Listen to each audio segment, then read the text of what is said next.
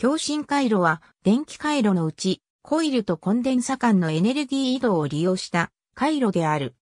コンデンサとコイルを直列に接続した共振回路であり、特定の共振周波数で互いの電位を打ち消し合い、外からはインピーダンスが0オームに見える。コンデンサとコイルを並列に接続した共振回路であり、特定の共振周波数で互いの電流を打ち消し合い、外からはインピーダンスが無限大に見える。反共振とも呼ばれる。この時、コンデンサの内部に電力として蓄えられたエネルギーと、コイルの内部に磁力として蓄えられたエネルギーが、K の内部で互いに移動するため外部から見た場合に、エネルギーの出入りがない。これらの回路は、受信機の選曲回路、フィルタ回路などに頻用される。